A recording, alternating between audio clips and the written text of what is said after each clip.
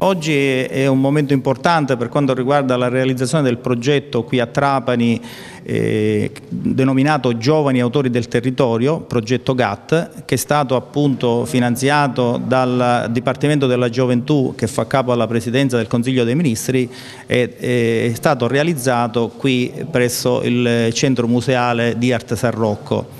Questo progetto eh, che coinvolge appunto i giovani del Trapanese nel sviluppare degli itinerari culturali della città. Oggi ha visto un momento di incontro eh, dei promotori culturali coinvolti nel progetto con il target obiettivo, quindi con i partner che sono costituiti dalle scuole, dal liceo classico, dal liceo scientifico, dal liceo tecnico per il turismo, dall'istituto alberghiero e anche da associazioni eh, culturali e ambientali della città, quali in particolare il CAI e il Club UNESCO Erice.